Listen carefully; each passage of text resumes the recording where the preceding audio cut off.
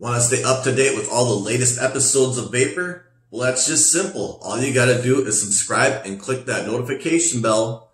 And when the latest episodes of Vapor drop, you'll be the, one of the first ones to know about it and you get to see it right away. But in the next episode of Vapor, we open up some vape mail. And you know you don't want to miss that. In the next episode of Vapor, I open a box. Yeah, I might need a knife or something. I open an envelope.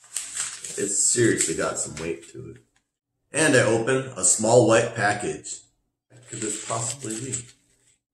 That and more on the next episode of Vapor.